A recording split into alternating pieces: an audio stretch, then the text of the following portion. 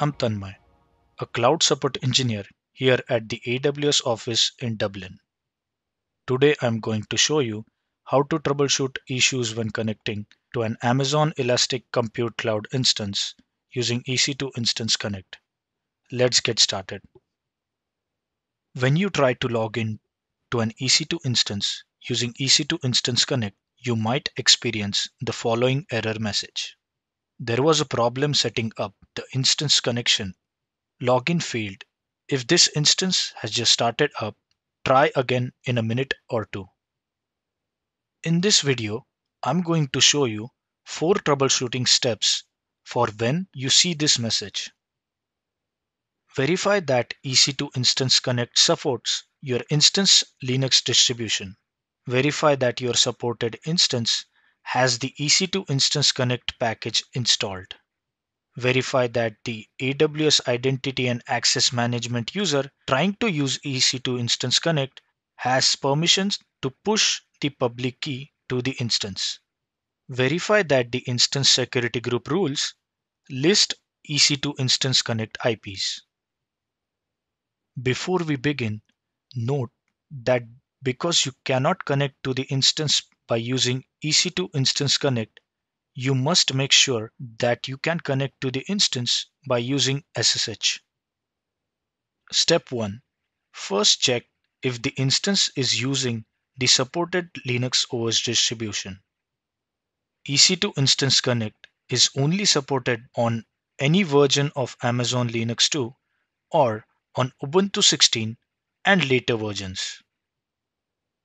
You can check the OS distribution by connecting to the instance using SSH and then entering the following command. In this example, my instance has Ubuntu as its OS distribution. Step 2. Verify that the supported instance is installed with EC2 Instance Connect package. To verify or install EC2 Instance Connect package, enter the following command. The command for Amazon Linux 2 is sudo yum install ec2 instance connect. And the command for Ubuntu is sudo apt install ec2 instance connect. Because I'm using Ubuntu, I ran the apt command to install the package. Step 3. Verify that the IAM user trying to use EC2 Instance Connect has permission to push the public key to the instance. Go to the AWS Management Console and navigate to the IAM console. Go to Users and then choose the user that you want to use for EC2 Instance Connect. Check the attached policies in Permissions tab. There should be policy attached with Action EC2 Instance Connect send SSH public key. In addition to that, this action should be allowed on the desired instance that you want to connect to. If not, you can create a policy. For that, go to Policies, choose Create Policy. I have already made a JSON snippet to enter. For more information, refer to the Associated Knowledge Center article. Make sure to enter the region, account ID, and resource ID into these fields. Make sure to enter the correct OS user as well. Choose Next tag, followed by Next Review. Name the policy, and then choose Create Policy. Then go to Users and choose the user to use for EC2 Instance Connect. Then choose Add Permissions. Select Attach Existing Policies directly and search for the policy that you just created. Select the policy and choose Next Review. Then choose Add Permissions. This is how you can add permissions to the user you are using for EC2 Instance Connect. Then step 4.